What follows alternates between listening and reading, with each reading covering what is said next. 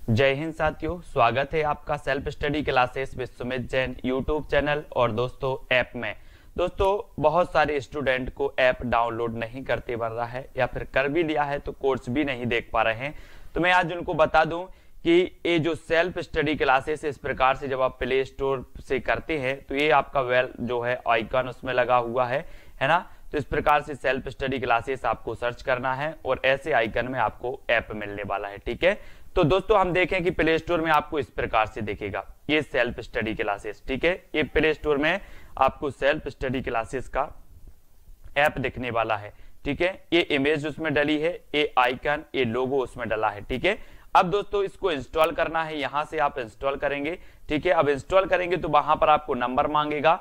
Gmail number मांगेगा तो आपको ओटीपी आएगा तो आप रजिस्टर करके आगे बढ़ेंगे। आपका पहला प्रश्न है कि अर्थ शब्द का आज से नहीं है तो अर्थ का आज क्या नहीं है? चार विकल्प हैं आपके सामने, धन, निमित्त, प्रयोजन या फिर शब्द।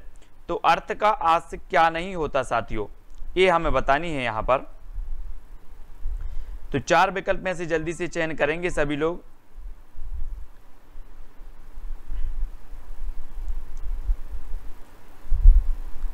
और राइट आपका आंसर हो जाएगा, नहीं है, पूछा है तो नहीं है, होता है शब्द। अर्थ का आस शब्द नहीं होता अर्थ का आस निमित्त, धन निमित्त, प्रयोजन। ये तीनों होते हैं, लेकिन ये चार यानी कि शब्द नहीं होता, ठीक है? इसको याद रखना। फिर आपसे पूछा जाता, आज्ञा का विलोम शब्द क्या है? आज्ञा। हमें आज्ञा देते ना कुछ लोग? और आज्ञा की हम क्या कर देते हैं? क्या कर देते हैं? लिखो कमेंट में पटाख से, आज्ञा का विलोम। बोले, सर, आज्ञा की हम अवज्ञा कर देते हैं। अवज्ञा, आज्ञा मिली थी, लेकिन हमने क्या कर दी? अवज्ञा। तो हमारा आज्ञा का जो विलोम होगा, वो चार नंबर बिल्कुल सही हो जाएगा। अब आज्ञा की अवज्ञा नहीं करना है, ठीक है? आज्ञा ही करना है, आज्ञा का पालन करना है। फिर आपसे पूछा जाता है, जहरीला शब्द में कौन सा प्रत्यय है? जहरीला में प्रत्यय बताना है साथियों, ईला, रीला, एला या फिर अरीला। कौन सा हो जाता है? जहरीला में। और आपने चयन किया है, सर, कि जहरीला में हो जाएगा ईला प्रत्यय। ईला यानी कि एक नंबर, ठीक है? जहर कोई शब्द है और इसमें ईला प्रत्यय लगा दिया तो बन गया शब्द क्या? जहरीला। तो ईला प्रत्यय आपका एक नंबर बिल्कुल सही हो जाएगा, ठीक है? एक नंबर। फिर पूछा जाता है कि शहडोल ज़िले में बोली जाने वाली प्रमुख बोली कौन सी है दोस्तों? शहडोल जिला में। और ये जो शहडोल है शहडोल ये कहाँ आता है आपका? बघेलखंड के पठार में आता है शहडोल और ये शहडोल संभाग भी है। तो आप बघेलखंड के पठार में आता है तो आपको चयन करना है कि यहाँ पर कौन सी बोली बोली जाएगी। बघेलखंड के पठार में ये शहडोल आता है तो यहाँ पर कौन सी बोली बोली जाएगी, और आपने बिल्कुल सही चयन किया है कि सर ये बघेलखंड के पठार में आता है तो ये बघेली बोली यहाँ पर बोली जाएगी। यानी कि तीन नंबर आपका यहाँ पर बघेली बिल्कुल सही हो जाएगा, ठीक है? ये अवधि बघेली छत्तीसगढ़ी, ये पूर्वी हिंदी के अंतर्गत आती है, अवधि बघेली और छत्तीसगढ़ी, है ना? तो ये बघेली पूर्वी हिंदी के अंतर्गत आती है। ये भी आपको चयन करना है। नेक्स्ट है, मोहन ने चोर को पीछे से पकड़ लिया। बाक कैसा है? मोहन ने चोर को पीछे से पकड़ लिया। ये बाघ का हमें बताना है, कैसा बाघ का माना जाएगा? स्थान बोधक माना जाएगा या फिर दिशा बोधक है? कौन सा बोधक है दोस्तों? चयन करें। और आपने बिल्कुल सही चयन किया है कि सर ये मोहन ने चोर को पीछे से पकड़ लिया। पीछे यानी कि दिशा है कोई, है ना? तो ये दिशा बोधक है। दिशा बोधक यानी तीन नंबर आपका बिल्कुल सही हो जाएगा, ठीक है? तीन नंबर। नेक्स्ट है, अंगारे फांकना मुहावरे का अर्थ क्या है? इन मुहावरे को हमें प्रैक्टिस करना है। जितनी ज़्यादा आप प्रैक्टिस करोगे, मुहावरे उतने ज़्यादा आपको क्लियर होंगे, ठीक है? तो अंगारे फांकना, इस मुहावरे का अर्थ क्या हो जाता है? ऐसा काम करना जिसका फल बुरा हो, साहसपूर्ण कार्य करना, क्रोध या ईर्ष्या से जलना या फिर चुनौती देना। तब अंगारे फांकने का जो अर्थ होगा, वो क्या हो जाएगा? आपने चयन किया है कि ऐसा काम करना जिसका फल बुरा हो, यानी कि अंगारे फांकना, है ना? इसका अंगारे फांकने का। देखो, इसका अर्थ एक नंबर बिल्कुल सही है। जो बिल्कुल अलग है है ना? एक नंबर आपका बिल्कुल सही हो जाएगा। फिर आपसे पूछा जाता है दोस्तों कि राम ने आसानी से शिव धनुष तोड़ दिया? वाक्य कैसा है? आज्ञा सूचक है है ना? इच्छा सूचक है विधान वाचक है या फिर संकेतार्थक है? कैसा वाक्य माना जाएगा इसमें? बाल सुधा जी, सीमा रितिका जी, आसू गोंडवाल जी, प्रश्न क्रमांक सात में, राम ने आसानी से शिव धनुष तोड़ दिया, ये वाक्य कैसा है? आसानी से तोड़ दिया। आसानी से तोड़ दिया तो ये तो क्या है? विधान वाचक वाक्य विधान वाचक है ना? विधान यानी कि जो सी नंबर है, तीन नंबर है, वो आपका बिल्कुल सही होगा। राम ने आसानी से शिव धनुष तोड़ दिया ये आपका विधान वाचक वाक्य माना जाएगा। तीन नंबर आपका बिल्कुल सही हो जाएगा। ठीक है? तीन नंबर। ये विधान वाचक है। काली मिर्च पद में कौन सा समास है? दोस्तों, हम पढ़ते हैं ना, लाल मिर्च, काली मिर्च, है ना? लाल मिर्च, काली मिर्च मिर्च बड़ी तेज है। पढ़ते ना अपन लोग। मिर्च बड़ी तेज है और काली मिर्च पद में समास बताना है। बहुब्रीही समास होगा, दिगु समास होगा, कर्मधाराय या फिर द्वंद्व समास। तो हम कुछ भी पढ़ें, वो क्या हो जाएगा कि जो काली है काली, ये मिर्च की विशेषता बता रहा है काली। तो काली मिर्च है ना तो हम इसका क्या करेंगे? काली है जो मिर्च तो काली है जो मिर्च यानी कि कर्मधाराय समास। ठीक है? कर्मधाराय यानी तीन नंबर आपका बिल्कुल सही होगा यहाँ पर, तीन नंबर। ठीक है? नेक्स्ट आपको बताना, इच्छा शब्द का पर्यावाची क्या है? प्रश्न क्रमांक नौ में, इच्छा। आप लोगों की इच्छा होती है। अब इच्छा का पर्यावाची क्या माना जाएगा? उसे और क्या कहते हैं इच्छा को? किशोर सिंह जी, सपना कुशवाहा इच्छा शब्द का पर्यावाची हमें चयन करना है। इच्छा को क्या कहा जाता है? आकांक्षा, ईहा, ईप्सा या फिर उक्त सभी। तब आपने चयन किया है कि सर इच्छा को आकांक्षा भी कहा जाता है, ईहा भी कहा जाता है और ईप्सा भी कहा जाता है, यानी कि उक्त सभी और तीन नंबर आपका बिल्कुल सही होगा, तीन नंबर। ठीक है? आकांक्षा, ईहा और इप्सा, ये तीनों कहा जाता है और तीनों आपका बिल्कुल सही है। ठीक है? ये नेक्स्ट आपका है, चोरटी है, गोरटी या छोरटी अहीर की पंक्ति किसकी है? ये पंक्ति में कौन सा अलंकार है? ये बताना है। चोरटी है, गोरटी या चोरटी या हीर की पंक्ति में कौन सा अलंकार है? शिलेश अनुप्रास, यमक या फिर उत्प्रेक्षा कौन सा अलंकार हो जाएगा? एक दोस्तों, अपन ने कल पाया, पढ़ा था विद्याधन अर्थी, है ना? विद्याधन अर्थी पढ़ा था। इसमें पता नहीं कैसे मैंने वृद्धि संधि आपको बता दिया। विद्याधन अर्थी, इसमें तो आपकी दीर्घ संधि है, दीर्घ संधि, है ना? इसको सुधार लेना, अगर आप कल की क्लास में थे तो। ठीक है? विद्याधन अर्थी, विद्यार्थी में आपका दीर्घ संधि होता है। ठीक है? ये चीज़। अब आपको बताना अनुप्रास अलंकार इसमें चोरटी है, गोरटी या छोरटी, अहीर की, यहाँ पर आपका अनुप्रास हो जाएगा। अनुप्रास यानी कि दोस्तों आपका एक नंबर हो जाएगा। चोरटी है, गोरटी या छोरटी, अहीर की। अनुप्रास अलंकार के भी कई भेद होते हैं दोस्तों। कई भेद होते हैं अनुप्रास के।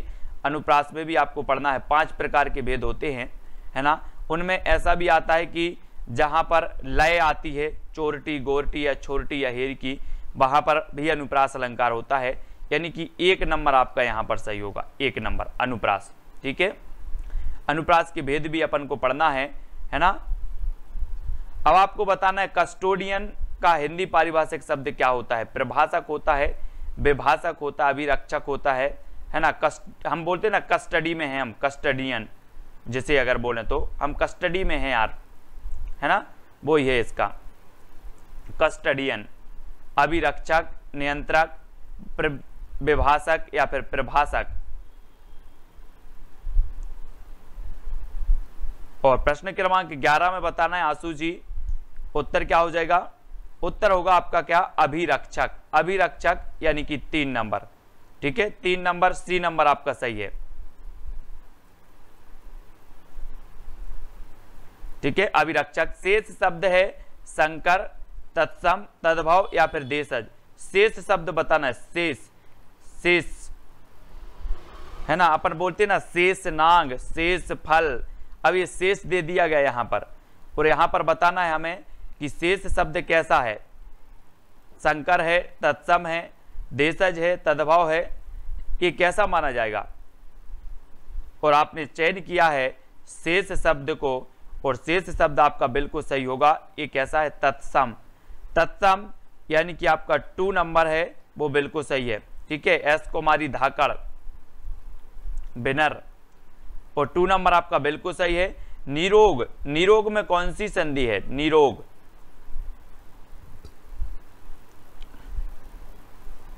निरोग में संधि का चयन करना है। राज कपाड़िया जी, सरिता जी, प्रश्न क्रमांक अपना तेरह है, और निरोग में संधि बतानी है। तो इसमें हो जाएगी आपकी कौन सी संधि? विसर्ग संधि। है ना? नेह, धन, रोग, बराबर होगा निरोग। ठीक है? निरोग यानी चार नंबर आपका विसर्ग संधि बिल्कुल सही हो जाएगा। ठीक है? विसर्ग। नेक्स्ट मध्य प्रदेश से प्रकाशित साहित्यिक पत्रिका का नाम क्या है? अक्षरा, आजकल, आलोचना या फिर कथा? तो प्रश्न क्रमांक चौदह में मध्य प्रदेश से प्रकाशित साहित्यिक पत्रिका का नाम बताना है और साहित्यिक पत्रिका की जब भी बात आती है दोस्तों तो ये जो अक्षरा है, अक्षरा अक्षरा, है ना? ये आपका सही होगा, एक नंबर। अक्षरा प्रकाशित होती है कहाँ से? मध्य प्रदेश से।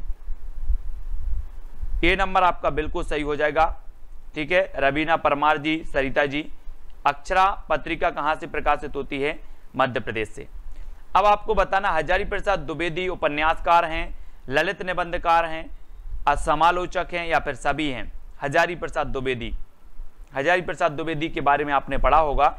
इनके दोस्तों, तीन ग्रंथ बहुत ही महत्वपूर्ण है। हिंदी साहित्य का आदिकाल, हिंदी साहित्य की भूमिका, है ना? और हिंदी साहित्य का उद्भव एवं विकास। लेकिन इनका एक जो रचना हमेशा पूछी जाती है, हजारी प्रसाद द्विवेदी की, वो है अशोक के फूल, है ना? अशोक के फूल, ये भी पूछी जाती है, और सीरीज़ के फूल भी पूछी जाती है। सीरीज़ के फूल भी हजारी प्रसाद द्विवेदी की है, अशोक के फूल भी हजारी प्रसाद द्विवेदी की रचना है। लेकिन एक पूछी जाती है, रेती के फूल, रेती के फूल। लेकिन ये रेती के फूल दिनकर जी की रचना है। रेती के फूल दिनकर जी की है, सीरीज़ के फूल हजारी प्रसाद द्विवेदी, अशोक के फूल हजारी प्रसाद द्विवेदी और हजारी प्रसाद द्विवेदी जो माने जाते हैं वो उपन्यासकार भी हैं, ललित निबंधकार हैं, समालोचक भी हैं, है ना? ये माने जाते हैं दोस्तों। तो इनको याद रखेंगे हजारी प्रसाद द्विवेदी को। ब्रज बोली आती है तो किसके अंतर्गत आती है? ये बोली से भी आपके क्वेश्चन एक हर एग्ज़ाम में बनते बोली। है ना? और मैंने आपको याद भी करवाया था कोड से। कानों के खड़ी बुंदेली, ब्रजभान हरि के पास। पश्चिमी हिंदी की जो बोलियाँ होती हैं दोस्तों, वो कौन कौन सी होती है पश्चिमी हिंदी की? कानों के खड़ी बुंदेली, ब्रजभान हरि के पास। तो पश्चिमी हिंदी के अंतर्गत आती हैं दोस्तों, ये ब्रजबोली यानी कि आपका जो डी नंबर है चार नंबर है वो आपका सही हो जाएगा, ठीक है? है ना? चार नंबर। जैसे बात करें ब्रज, है ना? खड़ी बोली खड़ी बोली भी आपकी आती है, ठीक है? और कन्नौजी भी आती है इसी के अंतर्गत। कन्नौजी, हरियाणवी भी आती है इसी के अंतर्गत, ठीक है? और बुंदेली भी आती है। बुंदेली भी आपकी पश्चिमी हिंदी के अंतर्गत आती है, ठीक है? तो ये पाँच पाँच बोलियाँ हैं जो पश्चिमी हिंदी के अंतर्गत आती हैं, और ये ब्रज भी पश्चिमी हिंदी के अंतर्गत आती है, ठीक है? नेक्स्ट है, विलोम शब्द युग में नहीं है तो कौन सा नहीं है? विलोम शब्द युग में। प्राचीन, अर्वाचीन, अर्तिकार, आरतीहर, नींद, स्वप्न, प्रछन्न, प्रकट। तब आपको चयन करना है कि विलोम शब्द युग में कौन सा नहीं है।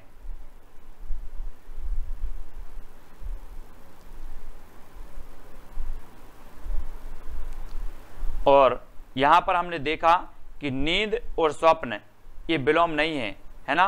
विलोम है क्या? बोले, सर, वो तो नींद में स्वप्न आ जाते हैं कभी कभी लेकिन ये विलोम नहीं होते। ये विलोम शब्द योग में नहीं है, यानी तीन नंबर आपने बिल्कुल सही चयन किया है, तीन नंबर। ठीक है? अब अगला क्वेश्चन है आपका, शुद्ध वाक्य का चयन करना है। अभंग एक अभंग एक प्रकार का मराठी छंद है। आपका निवेदन करता या फिर आपका भावदीव तो शुद्ध वाक्य कौन सा हो जाएगा साथियों इसमें? वकील ने कागजों की जाँच की या फिर आपका निवेदन करता।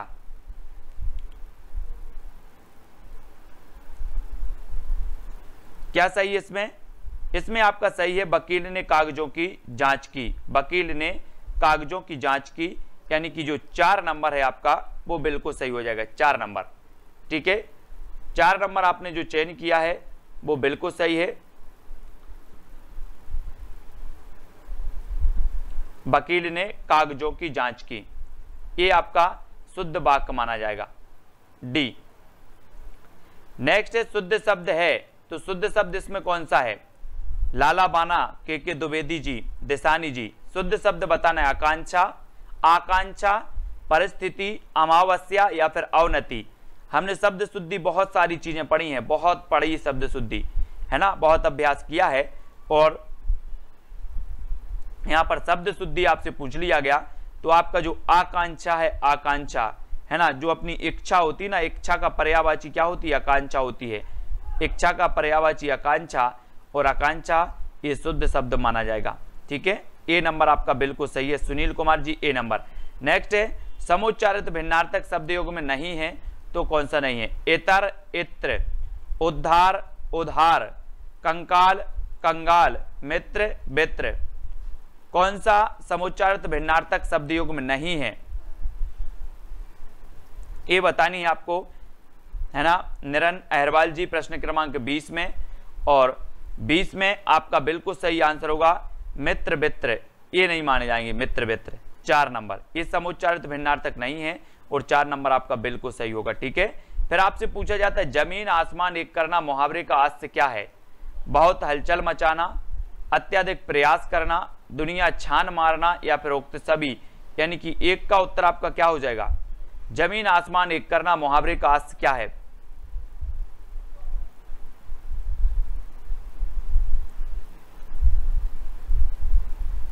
और यहाँ पर आपका बिल्कुल सही है, उक्त सभी, यानी चार नंबर, ठीक है? ज़मीन आसमान एक करना, मुहावरे का जो वास्य है, वो बहुत हलचल करना, ये भी है। अत्याधिक प्रयास करना ये भी है, दुनिया छान मरना ये भी है है ना? तो चार नंबर आपका बिल्कुल सही हो जाता है, ठीक है? चार। नेक्स्ट है आपका नकुल शब्द का अर्थ नहीं है तो क्या नहीं है? कुल रहित, शिव, नेवला या फिर कौनते?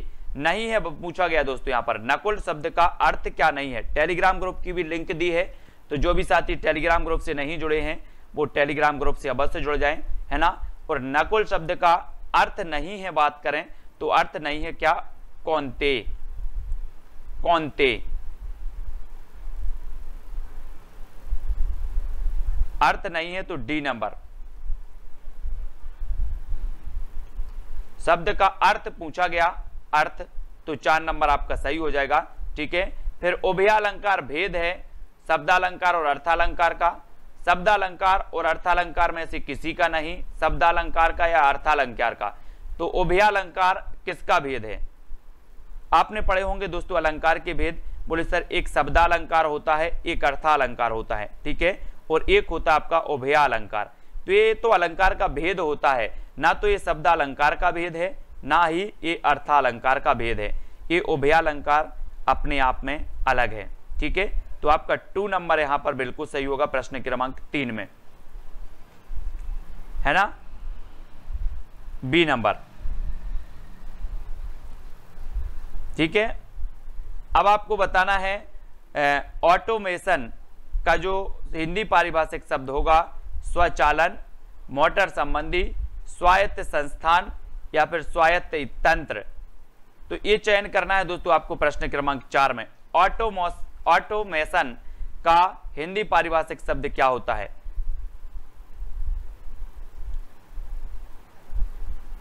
और आपने बिल्कुल सही चयन किया है कि ऑटो बोलते ना हम, ऑटो प्ले बोलते हैं, ऑटो प्ले है ये तो यानी कि स्वचालन है, स्वचालित है, यानी कि एक नंबर आपका बिल्कुल सही है, ठीक है?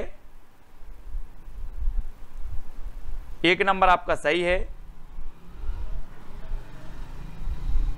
अब आपको बताना है उन्मूलन का विलोम शब्द क्या है? उन्मूलन। उन्मोचन, रोपण, मोचन या फिर उन्मुख। उन्मूलन का विलोम क्या हो जाता है? अपन बोलते ना, गरीबी उन्मूलन। है ना? गरीबी उन्मूलन, यानी कि गरीबी हटाओ। बोलते? तो उन्मूलन का विलोम हमें बस चयन करना है यहाँ पर। रोपण रोपण तो है नहीं। है ना? मोचन उन्मुख या फिर उन्मोचन।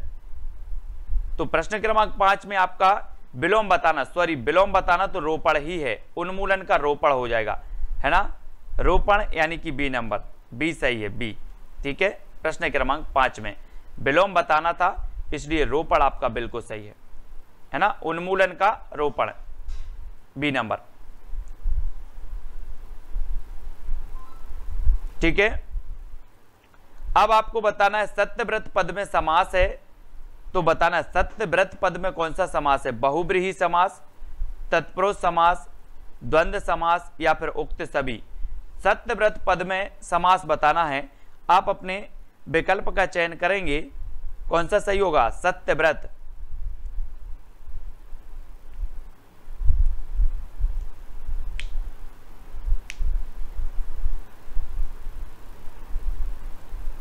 तब आपका बिल्कुल सही आंसर होगा दोस्तों। सत्यव्रत पद में समास पूछा गया। तो कौन सा होगा?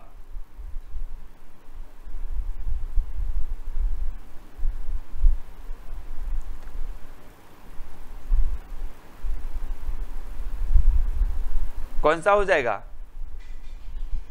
यहाँ पर तो उत्तर दिया, उक्त सभी। सत्य व्रत। सत्य है। सत्य के लिए व्रत। सत्य के लिए व्रत। सत्य और व्रत। है ना? सत्य के लिए व्रत और सत्य और व्रत। ठीक है? तो यहाँ पर आप उपरयुक्त सभी लगा देना। फ़िलहाल मैं इसको समझ के भी बताऊँगा प्रश्न क्रमांक छह में। ठीक है? छह वाला। अगला आपको बताना, नई या एक शब्द में प्रत्यय है, सात का उत्तर बताना, सात का। नई या एक शब्द में प्रत्यय एक है एक है या एक है या फिर एक है। यानी कि प्रश्न क्रमांक सात में बताएँगे। नई या एक शब्द में प्रत्यय कौन सा है?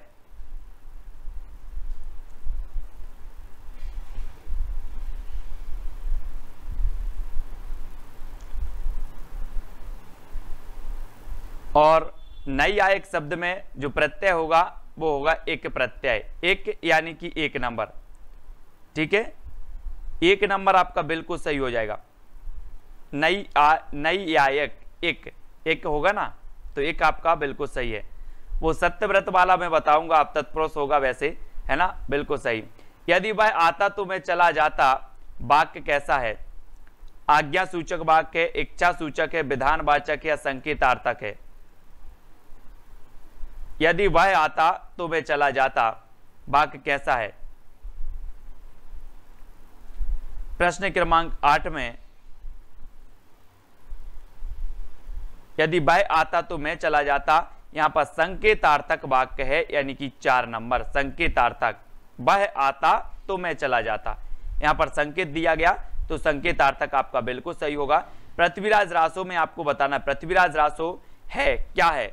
उपन्यास है महाकाव्य है खंड काव्य है या फिर नाटक है?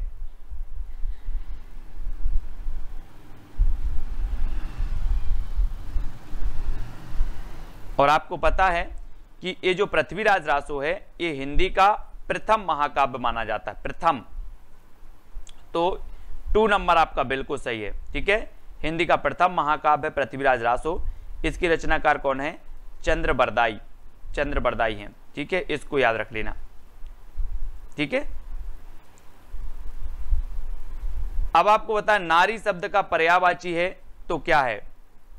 नारी यानी कि दस का आंसर बताना नारी शब्द का पर्यावाची भागिनिका मादा, कांता या फिर माया। यानी कि दस में नारी शब्द का पर्यावाची चयन करना है और पर्यावाची की जब बात आती है, तब आपका उत्तर होता है कांता। नारी शब्द का पर्यावाची है तो कांता है कांता, है ना? यानी तीन नंबर, सी नंबर आपका सही है। पर्यावाची में बहुत प्रैक्टिस करनी पड़ती है, कांता आपका सही हो जाएगा, सी। ठीक है? नेक्स्ट है, अब वह थोड़े ही काम करेगा, अब वह थोड़े ही काम करेगा। वाक्य कैसा है? निषेध परक संरचना है इसकी, विनम्रता सूचक संरचना है, विधि सूचक संरचना है, या फिर कारण, कार्य संबंध संरचना है। अब वह थोड़े ही काम करेगा। कैसी संरचना है इसकी? इसमें क्या बोध करवाया गया? वो चीज़ चयन करनी प्रश्न क्रमांक 11 में। तो बताएँ एस एम तिवारी जी, अब वह थोड़ी ही काम करेगा। यानी कि इसमें आपका सही उत्तर होगा कौन सा? निषेध परक संरचना है इसमें, है ना? निषेध परक। अब वह थोड़ी ही काम करेगा। यानी कि नहीं काम करेगा। ये नंबर आपका सही होगा इसमें। कारण कार्य नहीं है।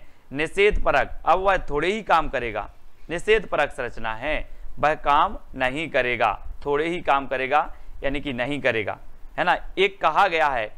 अगर आपको इसको शब्द की लय और उससे पढ़ अब वह थोड़े ही काम करेगा। अब नहीं करेगा मतलब इसका अर्थ। है ना? इसका जो संरचना है, इसका अर्थ है वो नहीं करेगा, ही निकल रहा। यानी एक नंबर आपका सही होगा, निषेध परक संरचना। ठीक है? अब आपको बताना बारेली बोली किस जनजातीय समूह से संबंधित है? वारेली बारेली यानी कि बारा। भील जनजाति से, कोरकू से, गोंड से या फिर बैगा से। कौन सी जनजाति से संबंधित है बारेली बोली?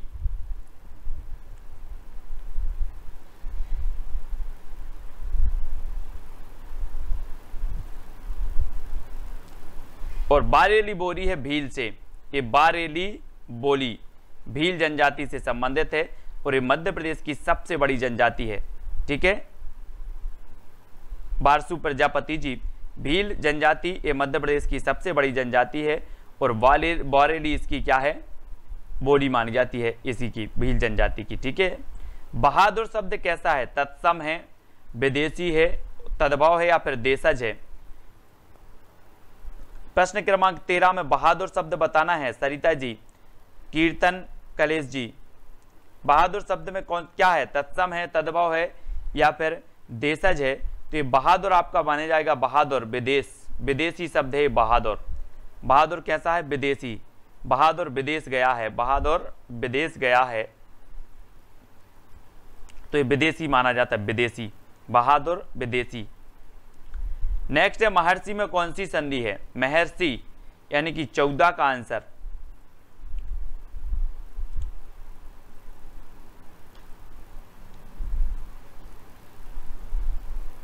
और आपका सही आंसर होगा, क्या हो जाएगा?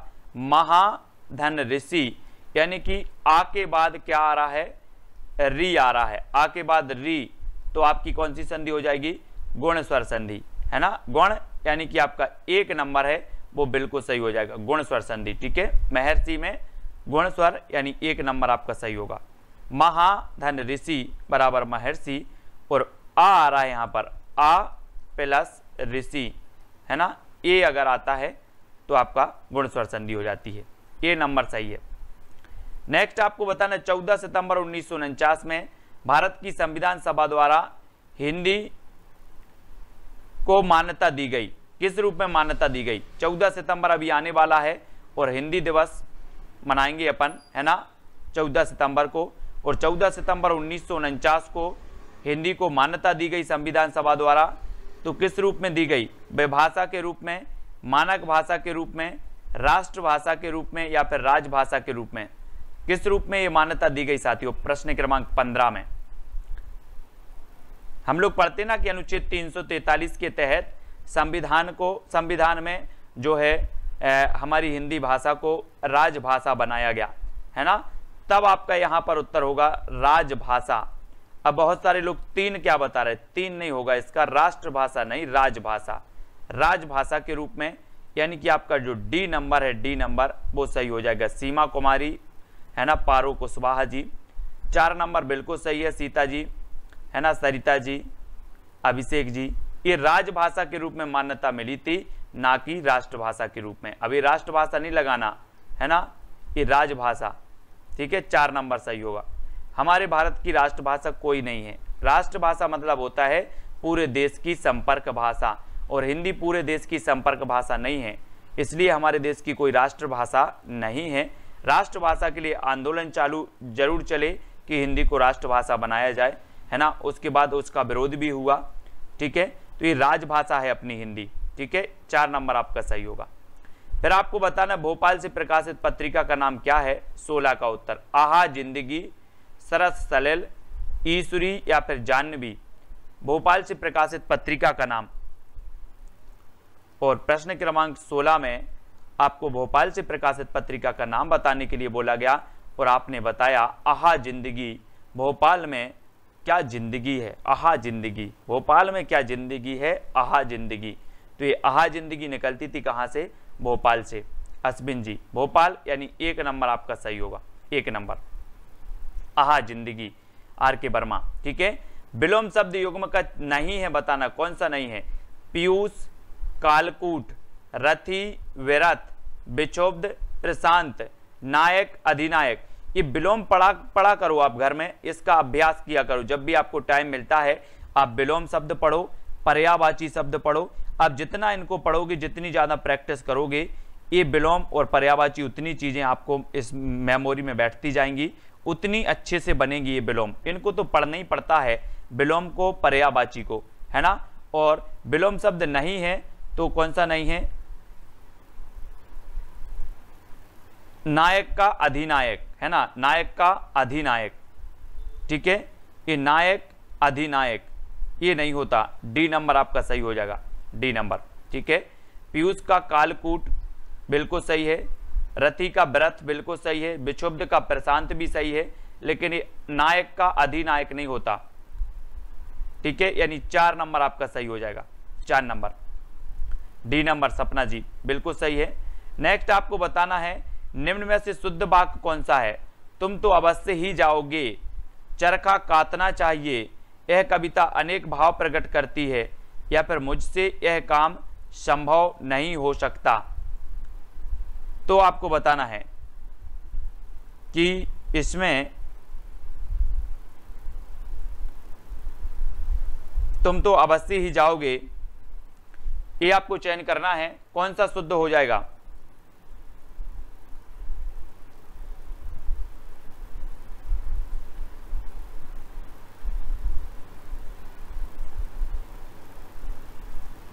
चार विकल्प हैं। चार में से चयन करना है। और आपने चयन किया है कि यह कविता अनेक भाव प्रकट करती है। यह कविता अनेक भाव प्रकट करती है। चरखा काटना चाहिए चरखा नहीं काटना चाहिए। तुम तो अवश्य ही जाओगे, है ना? अवश्य ही नहीं आना था यहाँ, अवश्य जाओगे, है ना? यह कविता अनेक भाव प्रकट करती है। ये आपका सही होगा। मुझसे यह काम संभव नहीं हो सकता, है ना? तो ये याद रख लेना। और अगला आपको है दोस्तों, निम्नलिखित में से शुद्ध वाक्य का चयन करना है। यहाँ पर शुद्ध वाक्य कौन सा है? आपने वो गाना सुना होगा ना, नायक नहीं, खल नायक हूँ मैं। सुना है सभी लोगों ने कि नहीं सुना? सुना होगा। सुना है तो वो नायक का वो ही माना जाता है, खल नायक। नायक का विलोम होता है, खल नायक। नायक नहीं, खल नायक हूँ मैं। और यहाँ पर वही पूछा गया था, और शुद्ध शब्द यहाँ पर आपने बताया, विभीषिका। है ना? प्रणाम नहीं लिखा जाता, पूज्य ऐसा नहीं लिखा जाता, पूर्व भी नहीं लिखा जाता। तो विभीष का यानी चार नंबर हो जाता है, चार नंबर। ठीक है? इसको याद रखेंगे। नेक्स्ट ट्वेंटी का समुच्चरित भिन्नार्थक शब्द युग में कौन सा नहीं है? समुच्चरित और भिन्नार्थक। अणु अनु चाय, कॉफ़ी, उपेक्षा, अपेक्षा, अंत अंत। और बीस का आंसर आपका सही होगा। क्या होगा? समुच्चारित भिन्नार्थक शब्द युग में नहीं है तो चाय, कॉफ़ी। चाय, कॉफ़ी, ये समुच्चारित भिन्नार्थक तो नहीं लग रहा। यानी टू नंबर, चाय, कॉफ़ी आपका बिल्कुल सही है। अड़ियल शब्द में कौन सा प्रत्यय है? अड़ियल शब्द में हमें प्रत्यय का चयन करना है। यल है, ला है ईयल है, या फिर ईयल है। तो चार विकल्प हैं और अड़ियल में हमें चयन करना है कि प्रत्यय कौन सा है। तब आप चार विकल्प ऐसे बताएँगे और साथियों, आपको पता है कि जो प्रत्यय हैं वे शब्द के अंत में लग करके क्या लाते हैं उनमें? परिवर्तन। अर्थ में परिवर्तन लाते हैं और यहाँ पर आपसे अड़ियल पूछा गया और अड़ियल में आपका हो जाएगा ईयल प्रत्यय, यानी चार नंबर आपका बिल्कुल सही हो जाता है, चार नंबर। ठीक है? चार जो आपने बताया है, वो बिल्कुल सही है। ठीक है?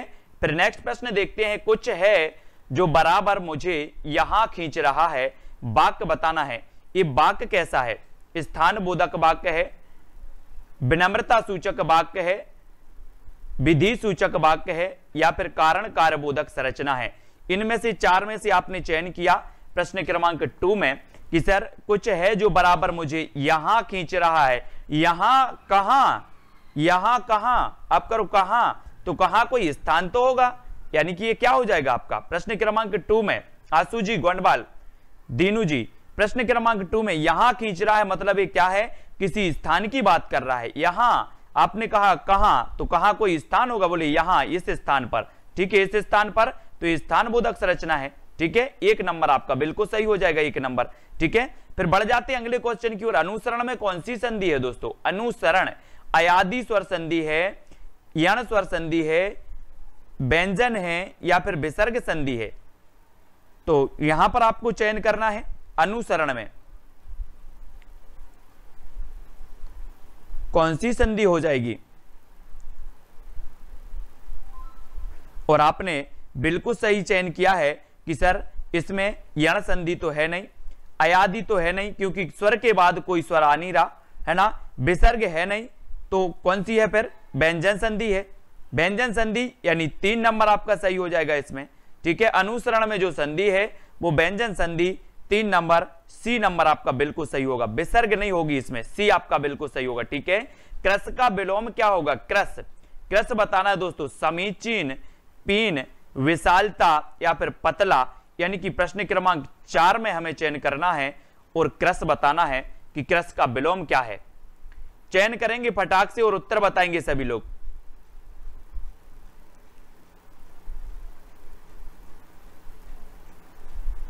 और आपने चयन कर लिया कि सर जो क्रस का विलोम है, वो क्रस का विलोम आपका पीन है, पीन। क्रस का पीन। पीन यानी टू नंबर। टू नंबर आपका यहाँ पर बिल्कुल सही हो जाएगा। क्रस का पीन, है ना? पीन यानी टू नंबर। ठीक है? अब दोस्तों, हमें बताना है उठा रखना, मुहावरे का आस्य क्या है? उठा रखना, छोड़ रखना कसर रखना, बाकी रखना या फिर उक्त सभी, उठा रखना। अपन बोलते ना कोई भी चीज़ को थोड़ा सा उठा रखना थोड़ा सा उठा रखना, जैसे ए है टेप, और इसमें ऐसे है थोड़ा सा उठा रखना इस प्रकार से, है ना? बोल देते ना अपन तो थोड़ा सा उठा रखना, ये बतानी है दोस्तों। तो उठा रखना का जो आपका सही होगा, वो क्या हो जाएगा? छोड़ के रखना, कसर रखना, बाकी रखना। अलग अलग जगह पर अलग अलग बोला जाता है है ना? तो ये उक्त सभी आपका चार नंबर बिल्कुल सही हो जाएगा। ठीक है? चार नंबर। फिर अगला क्वेश्चन है, आपको बताना है दोस्तों स्टेटिस्टिशियन स्टेटिस्टिशियन का हिंदी पारिभाषिक शब्द कौन सा है? सांख्यिकीविद कहेंगे इसे, अंकक कहेंगे अंक शास्त्री कहेंगे या फिर अंकेक्षक कहेंगे, यानी कि छह नंबर में। छह में आपको चयन करना है, उत्तर आपका क्या होगा?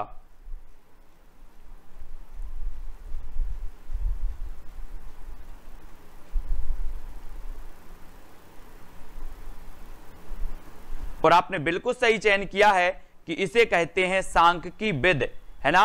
सांख की विद यानी कि आपका जो एक नंबर है, वो बिल्कुल सही हो जाएगा, एक नंबर, ठीक है? फिर बढ़ जाते हैं दोस्तों, अगले क्वेश्चन की ओर। दूध वाले से कहो कि भाई 20 लीटर दूध तुरंत ले आए, तुरंत ले आए। तो ये कैसा है? आज्ञा सूचक है, या फिर इच्छा सूचक है, विधानवाचक है, या फिर संकेतार्थक है? कैसा वाक्य माना जाएगा?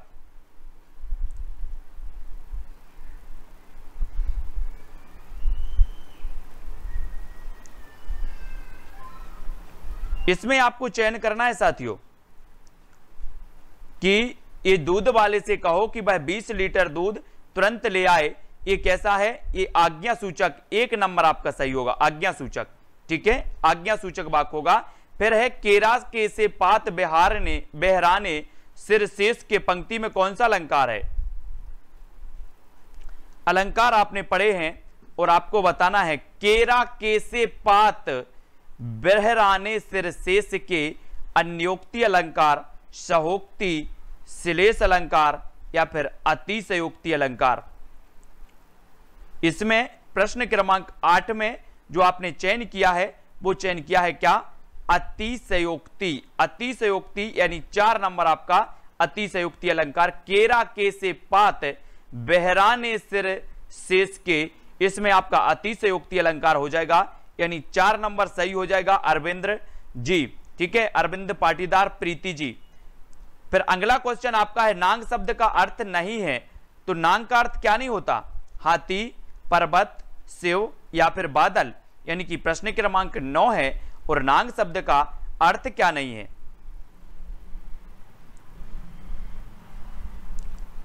क्या नहीं होता? बोले, सर, नांग मतलब हाथी तो होता है। होता है।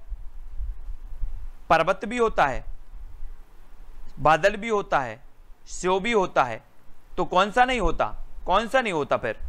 प्रश्न क्रमांक नौ में, और आपने चयन कर लिया कि सर शिव नहीं होता। बादल पर्वत को नाग कहते हैं, हाथी को कहते हैं, बादल को कहते हैं, लेकिन शिव को नाग नहीं कहते, है ना? इसका अर्थ नाग नहीं होगा। यानी कि आपका जो सी नंबर है, सी नंबर, वो सही होगा। सेव सेव को नाग नहीं कहते, या सेव का अर्थ नाग नहीं होगा। और तीन नंबर आपका बिल्कुल सही है। खेत शब्द कैसा है? खेत। अपन खेत जाते हैं दोस्तों, खेत। और एक होता है क्षेत्र। अब आपको बताना है कि खेत शब्द कैसा है? संकर है, तत्सम है, तदभाव है या फिर देशज है? ये तदभाव, तत्सम देशज ये पूछे जाते हैं और अपन टॉपिक वाइज अध्ययन कहाँ पर कर रहे हैं? सेल्फ स्टडी क्लासेस में रात्रि आठ बजे, है ना? और खेत शब्द का जो अर्थ होता है वो क्या होता है साथियों? वो क्या होता है? ये खेत शब्द है, बताना है कैसा है? तो बोले, तत्सम तो इसका क्षेत्र होता है तो ये तदभाव है आपका। तदभाव यानी तीन नंबर ममता जी। सी नंबर आपका बिल्कुल सही है, तदभाव। ठीक है? सारंग शब्द का पर्यावाची क्या है? सारंग, चातक, सेह, कोयल या फिर उक्त सभी। सारंग का पर्यावाची बताना है, प्रश्न क्रमांक 11 में और आपको चयन करना है। और दोस्तों, सारंग शब्द का जो पर्यावाची होता है, वो होता है उक्त सभी। कोयल, शह और चातक, ये सभी सारंग के पर्यावाची होते हैं।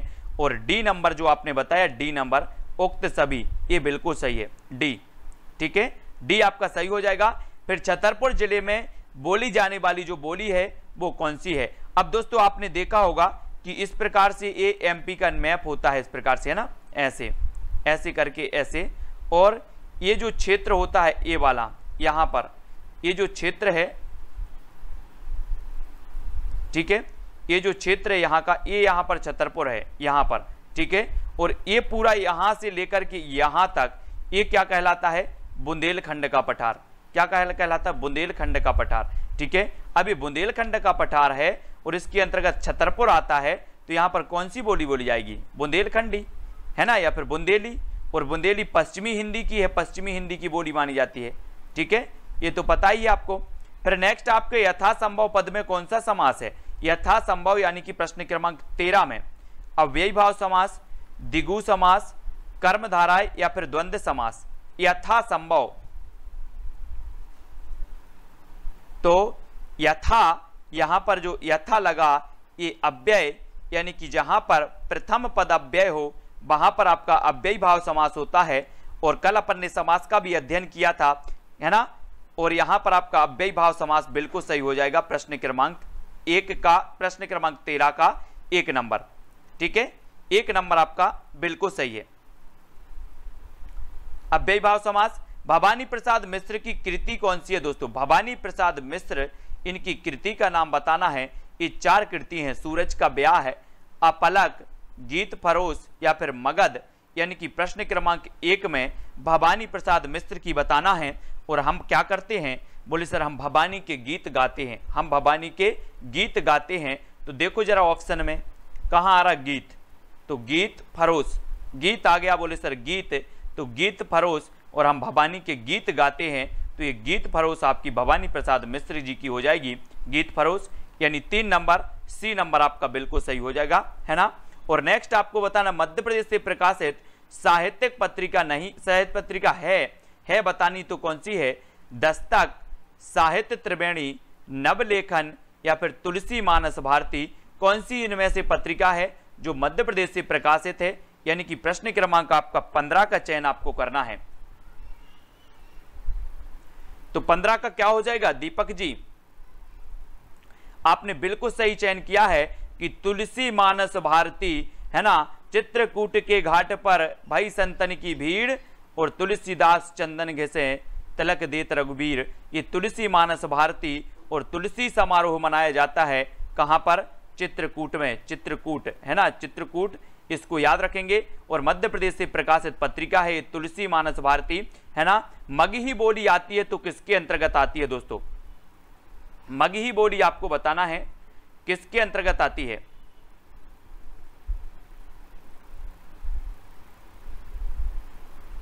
आपको चयन करना है मगही बोली बतानी है, और आपको मैंने कई बार बताया है, तब आपका बिल्कुल सही आंसर होगा। बोले, सर, ये जो मगही है, ये आती है आपकी किसके अंतर्गत? बिहारी हिंदी के अंतर्गत। बिहारी हिंदी का जो उद्भव हुआ, वो मागधी अपभ्रंश से हुआ। किससे हुआ? मागधी अपभ्रंश से बिहारी, पूर्वी हिंदी। इसका हुआ किससे? अर्धमागधी से अर्धमागधी से कौन सी निकली? आपकी निकली पूर्वी हिंदी, राजस्थानी से, ये पश्चिमी हिंदी से निकली, राजस्थानी हिंदी, और जो पश्चिमी हिंदी है, ये सौर सैनी अपभ्रंश से निकली, सौर सैनी अपभ्रंश से, ठीक है? तो इनको तो याद करते ही जाना है, और मगही बोली मानी जाती है पूर्वी हिंदी की, यानी टू नंबर आपका सही हो जाएगा, ठीक है? विलोम शब्द युग में नहीं है तो कौन सा नहीं है? पाताल, अंबर, अनित्य, नस्वर क्षणिक शाश्वत या फिर कड़ा मृदुल, यानी कि विलोम शब्द युग में कौन सा है है बताना है।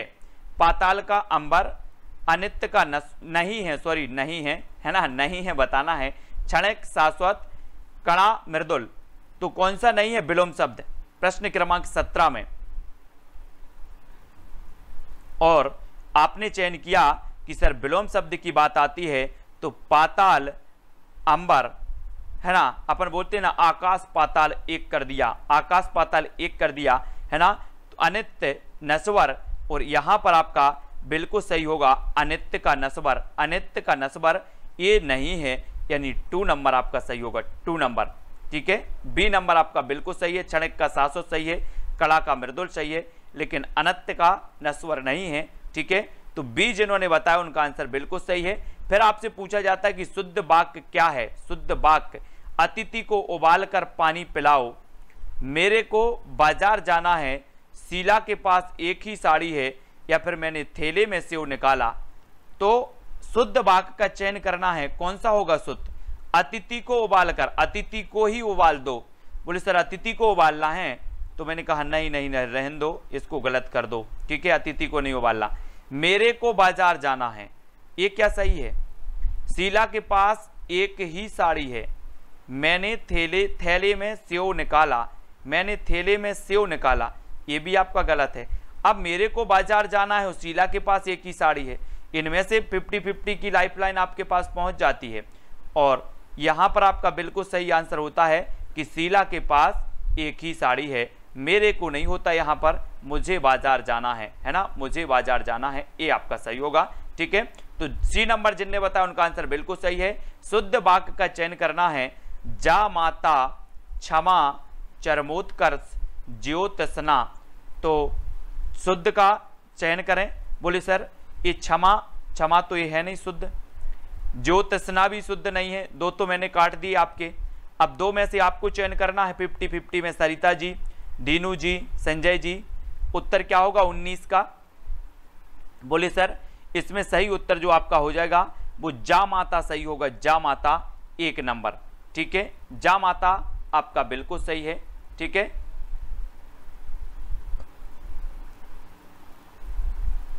यानी कि आपका एक नंबर बिल्कुल सही हो जाएगा। ठीक है? फिर अगला क्वेश्चन आपको बताना है दोस्तों, प्रश्न क्रमांक 20 में। 20 का उत्तर क्या होगा? भिन्नार्थक शब्द युग में कौन सा नहीं है?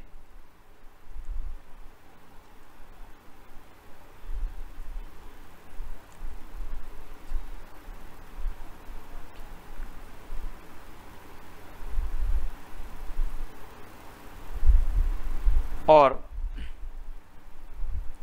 आपने चयन किया है समुच्चारित भिन्नार्थक शब्द युग में, और शब्द युग में नहीं है बताना था तो नहीं है तो कौन सा नहीं है? कौन सा नहीं है? बोले सर, समुच्चारित भिन्नार्थक ये योग युग जो है, योग योग, ये तो बिल्कुल सेम है। ये समुच्चारित भिन्नार्थक नहीं होगा, है ना? तो आपका राइट आंसर क्या हो जाएगा? राइट आंसर क्या होगा? आपने बताया, योग योग, यानी सी नंबर आपका बिल्कुल सही सी नंबर ठीक है? और दोस्तों, ये अपन ने देखा, क्या देखा? कि ये चरमोत्कर्ष जो है ना, चरमोत्कर्ष, इस प्रकार से लिखा जाता है, इस प्रकार से, है ना? इसलिए वो चरमोत्कर्ष क्या हो गया? गलत हो गया, ये ऐसा, ठीक है? चरमोत्कर्ष, ठीक है? तो इसको सुधार लेना, योग योग आपका बिल्कुल सही हो जाएगा, ठीक है? फिर अगला देखते हैं, रसखान है, रसखान भक्तिकालीन कवि हैं कुल परंपरा से कृष्ण भक्त हैं, महाकवि हैं या फिर उक्त सभी। रसखान बताना है, कैसे कवि माने जाते हैं? रसखान। कहा जाता है कि जो रामचरितमानस तुलसीदास जी ने लिखी है अवधि भाषा में, वो दोस्तों तुलसीदास ने जी ने जो लिखी है अवधि भाषा में, पंद्रह सौ ईस्वी में, यानी कि 1600 संबत 1631 में इन्होंने लिखी थी, और ये जो रामचरितमानस है, सबसे पहले तुलसीदास ने इन्हीं को सुनाई थी रसखान को। है ना? और रसखान कैसे माने जाते हैं? अब तुलसीदास का संबंध है तो ये क्या माने जाते कुल परंपरा से कृष्ण भक्त महाकवि भक्तिकालीन कवि तो ये दोस्तों भक्तिकालीन कवि हैं, भक्तिकालीन, है ना? अब तुलसीदास के समय के हैं मतलब तुलसीदास भक्ति काल के हैं तो रसखान भी भक्ति काल के भी होंगे, है ना? तो आपका जो एक नंबर है, एक नंबर, वो सही है, ये भक्तिकालीन कवि हैं, ठीक है? एक नंबर। अगला बताना, अतएव में संधि है तो कौन सी है? अतएव गुण स्वर संधि यण स्वर संधि, व्यंजन या फिर विसर्ग संधि, यानी कि प्रश्न क्रमांक टू और टू का चयन करना है। अतएव में संधि बतानी है।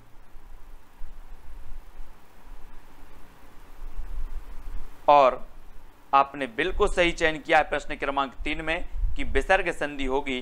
अतः धन एव अतएव विसर्ग संधि अतएव में आपका चार नंबर बिल्कुल सही होगा। ठीक है? डी नंबर आपका सही हो जाएगा। शिशुपाल जी।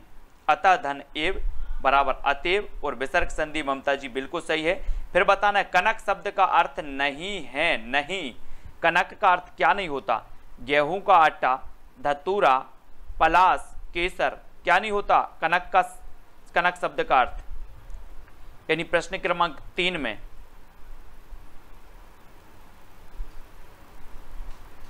और आपने चयन किया है बिल्कुल कि सर कनक का अर्थ आटा तो होता है है ना?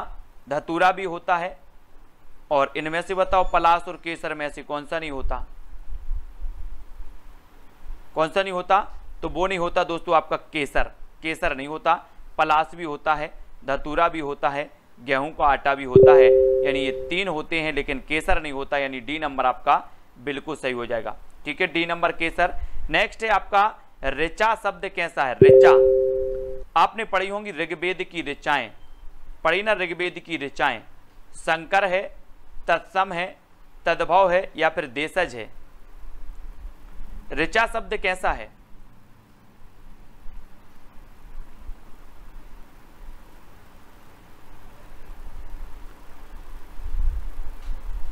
और आपको पता है कि ये जो ऋचा शब्द है, ये तत्सम माना जाएगा। तत्सम, वेदों की ऋचाएँ। वेदों की ऋचाएँ और टू नंबर आपका सही है ऋचा है ना? अधिकांश छा शब्द हों या फिर री शब्द हों, ये तत्सम शब्दों में ही प्रयोग ज़्यादा होते हैं। है ना? तो ये जित, जहाँ आपको ये प्रयोग दिख जाए मतलब वो तत्सम तो हो गई। छा और री। तो तत्सम सही है। अंगारों पर लौटना मुहावरे का आस्य क्या है? प्रश्न क्रमांक पाँच में, अंगारों पर लौटना मुहावरे का अपने कार्यों से किसी को जलाना क्रोध या ईर्ष्या से जलना, चुनौतीपूर्ण कार्य करना, असंभव को संभव करना तो अंगारों पर लौटना, इस मुहावरे का अर्थ क्या हो जाता है प्रश्न क्रमांक पाँच में? क्या हो जाता है?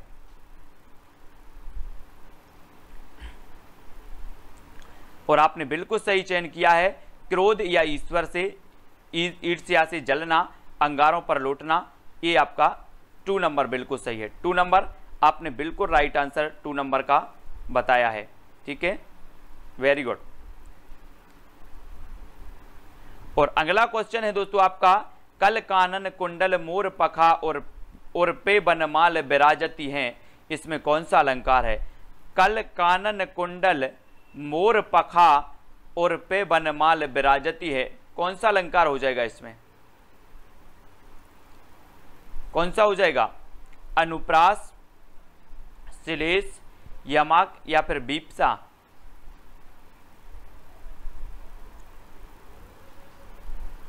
तो आपने बताया कि सर इसमें का का की बार बार आवृत्ति हो रही है, यानी कि आपका अनुप्रास अलंकार एक नंबर बिल्कुल सही हो जाएगा, एक नंबर, ठीक है? का का की आवृत्ति हो, वहाँ पर आपका अनुप्रास अलंकार हो जाता है, ठीक है? और एक काका की आवृत्ति आपकी हो मतलब जहाँ पर एक ही वर्ण की आवृत्ति हो, और काका की कल, कानन, कुंडल है ना? कल कानन कुंडन केस बसे और काका की आवृत्ति हुई और आपने बिल्कुल सही अनुप्रास अलंकार लगाया। एक नंबर। ठीक है? नेक्स्ट है, रीता रीवा के अभियांत्रिकी महाविद्यालय में पढ़ती है। वाक्य कैसा है? रीता रीवा के अभियांत्रिकी महाविद्यालय में पढ़ती है। आज्ञा सूचक वाक्य है। इच्छा है, विधान सूचक या संकेतार्थक है। कैसा वाक्य माना जाएगा इसमें? भगत सिंह जी, विक्रम जी, संजय जी प्रश्न क्रमांक एक में, रीता रीबा के अभियांत्रिकी महाविद्यालय में पढ़ती है, ये बाक कैसा है? और आपने चयन किया है कि, सर, रीता अभियांत्रिकी विद्यालय में बढ़ती है, पढ़ती है तो ये आपका विधिवाचक हो जाएगा, विधानवाचक हो जाएगी। तीन नंबर आपका बिल्कुल सही हो जाएगा। यहाँ पर हमें कोई आज्ञा नहीं लग रही, यहाँ पर कोई इच्छावाचक नहीं लग रहा है यहाँ पर कोई संकेत नहीं दिया गया। तो विधानवाचक यानी कि तीन नंबर तो आपका हो ही जाएगा विधानवाचक। रीता रीवा की अभियांत्रिकी महाविद्यालय में पढ़ती है, ये आपका विधिवाचक या विधानवाचक हो जाएगा। ठीक है? तो आपका तीन नंबर बिल्कुल सही है। C number. आज्ञा सूचक तो है ही नहीं, आज्ञा तो कोई दी नहीं जा रही यहाँ पर। है ना? नेक्स्ट आपको बताना नीलगाय पद में कौन सी समास है? नीलगाय पद में। मंजुला जी बहुब्रीही समास, दिगु समास, कर्मधाराय समास या फिर द्वंद्व समास? नीलगाय पद में कौन सा समास है? प्रश्न क्रमांक आठ का चयन करना है। बोले, सर, नीली है जो गाय? नीली है जो गाय? यानी कि नील क्या है? ये विशेषण है। और गाय क्या है? ये विशेष है। और विशेषण विशेष का जहाँ संबंध होता है, वहाँ पर कौन सा हो जाता है? कर्मधाराय समास। यानी कि प्रथम पद द्वितीय पद की विशेषता बता रहा है। तो नील गाय में आपका कर्मधाराय समास। नीली है जो गाय। ठीक है? सी नंबर आपका बिल्कुल सही होगा। आप किस तरफ़ जा रहे हैं? वाक्य कैसा है? प्रश्न क्रमांक नौ में। आप किस तरफ़ जा रहे हैं? किस तरफ़? यानी कि कोई दिशा बताइए। बोले, सर, मैं इस तरफ़ जा रहा हूँ। इस तरफ़। ऐसे हाथ करके इस तरफ़। इस तरफ़ तो आपने देखा तो ये तो दिशा हो रही, उत्तर दिशा हो गई बोले। इस तरफ़ जा रहे तो इस तरफ़ कोई दिशा है तो ये दिशा बोधक होगा, किस तरफ़ जा रहे हैं? तो सी नंबर आपका सही होगा, सी, ठीक है? किस तरफ़ जा रहे हैं? इस तरफ़ जा रहे हैं तो सी नंबर, ठीक है? नेक्स्ट है, अनूपपुर ज़िले में कौन सी बोली बोली जाती है? अनूपपुर, बताना दोस्तों। और आपको पता है कि ये जो होते हैं आपके ये ये यहाँ पर अनूपपुर जिला है ए, है ना? और ये जो क्षेत्र है ये पूरा ये क्षेत्र कहलाता है कौन सा? बगेल खंड का पठार। आपने शहडोल जिला सुना होगा। शहडोल और शहडोल ज़िले में आता है कौन? अनूपपुर जिला। है ना? अनूप की उमरिया डोरी सी डोल रही। हमने शहडोल जिला की आपको याद करवाए थे ट्रिक से जिला। तो ये अनूपपुर आता है आपका बगेल खंड में। तो यहाँ पर निमाड़ी भी बोली नहीं बोली जाएगी, बुंदेली भी नहीं माल भी नहीं तो कौन सी? बघेली। बघेली यानी कि आपका उत्तर तीन नंबर, सी नंबर। बिल्कुल सही होगा बघेली। ठीक है? और बघेली ये आपको पता है कि अब छत्तीसगढ़ी, यानी कि ये पूर्वी हिंदी की बोली मानी जाती है बघेली, पूर्वी हिंदी की, है ना? अवधि बघेली और छत्तीसगढ़ी ये पूर्वी हिंदी की है और बघेली अनूपपुर ज़िले में बोली जाती है। ठीक है? तो याद रखना नेक्स्ट है आपको बताना दोस्तों, आरबी ट्रेटर का हिंदी परिभाषिक शब्द क्या है? केंद्रक, मध्यस्थ, संधारक या फिर नाभिक, यानी प्रश्न क्रमांक 11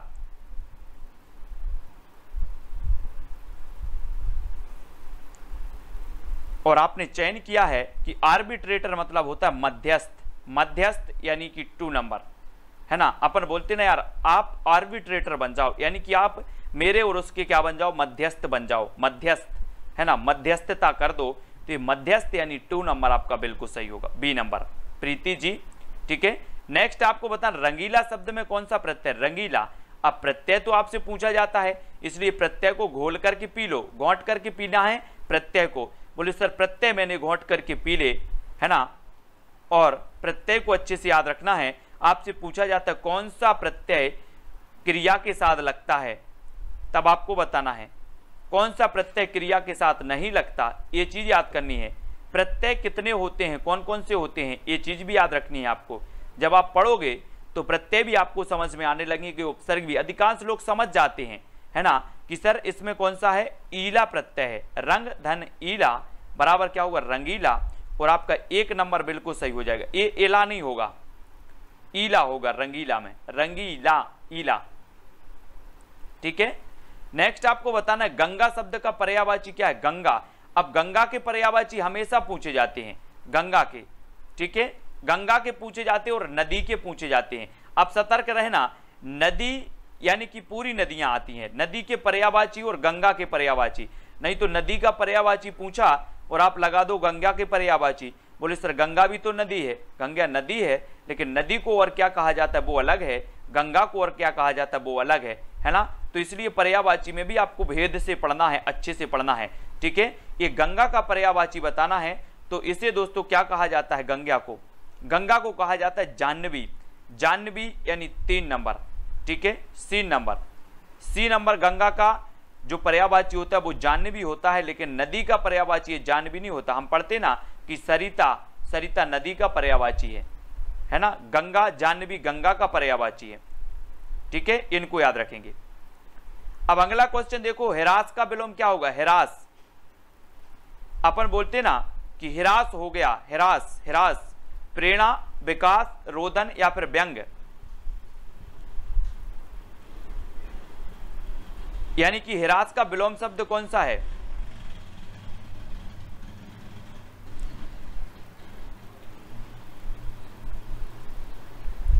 और आपको पता है कि ये जो होगा हिरास का विलोम बताना है है ना? हिरास का विलोम विकास, हिरास का विलोम बताना था पर्यावाची नहीं बताना था, हिरास का विकास होगा, विकास। हिरास हो रहा है किसी का, हिरास हो रहा है किसी का पतन हो रहा है और किसी का विकास हो रहा है। तो हिरास का होगा विकास, रचना जी, बिल्कुल सही हिरास का विकास, ठीक है?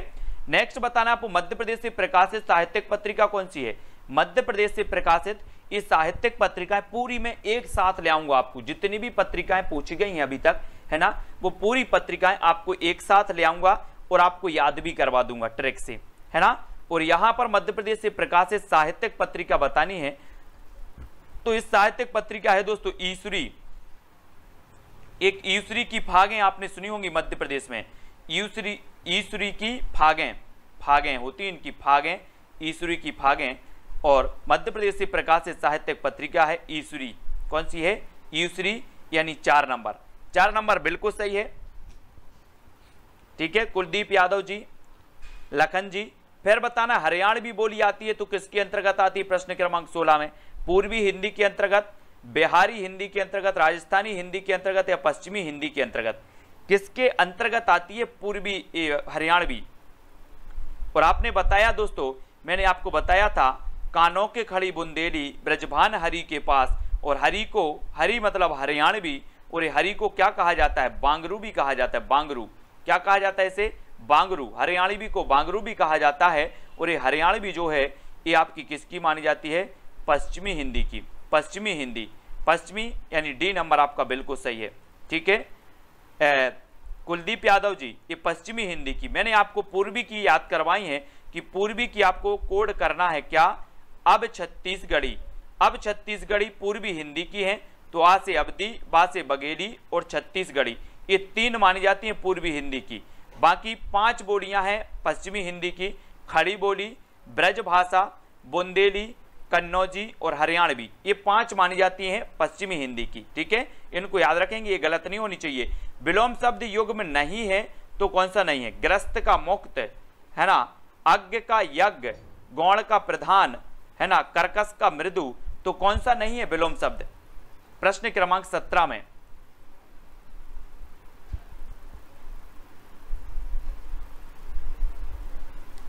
बिल्कुल, जासमिन खान जी रचना सिंह जी, विक्रम जी, संगीता जी एस एम तिवारी जी, प्रश्न क्रमांक सत्रह में आपने बिल्कुल सही बताया है। बोले, सर, अज्ञ का होता है विज्ञ, अज्ञ का विज्ञ, अज्ञ का यज्ञ नहीं होता, अज्ञ का यज्ञ नहीं होता। यानी कि आपका जो टू नंबर है, वो सही हो जाएगा, टू नंबर। ठीक है? हाँ ए बी सी भी कर दो। A B C A B C पूर्वी हिंदी की ए बी सी ठीक है? बिल्कुल सही है। नेक्स्ट आपको बताना है शुद्ध वाक्य है तो कौन सा है? इस बार लंका भारत से नहीं जीत पाएँगे। माताजी रेलगाड़ी में आया, सतीश को दही अच्छी लगती है, छात्राओं को पढ़ना चाहिए। तो अब थोड़ा सा शब्दों पर और व्याकरण पर ध्यान देना है कि इस बार लंका भारत से नहीं जीत पाएँगे। गलत। माताजी रेलगाड़ी में आया, माताजी रेलगाड़ी में आती हैं, आया नहीं, आई। गलत। सतीश को दही अच्छी लगती है। अच्छी लगती है क्या दही? कि अच्छा लगता है। दही अच्छा लगता है कि अच्छी लगती है, बोले, सर, ये तो पुल्लिंग में प्रयोग होगा दही। है ना? छात्राओं को पढ़ना चाहिए। आपका शुद्ध शब्द क्या होगा? छात्राओं को पढ़ना चाहिए। D number. ठीक है? शुद्ध शब्द पूछा तो डी नंबर हमने छात्राओं को पढ़ना चाहिए। टिक लगा दिया। ठीक है, डी? इस सतीश को दही अच्छी है तो गलत है। प्रश्न क्रमांक अठारह में। शुद्ध पूछा था शुद्ध। और शुद्ध में डी सही है। अब शुद्ध बताना इसमें कौन सा है? अनिष्ट, आधीन, अभ्यस्त या फिर अद्वितीय?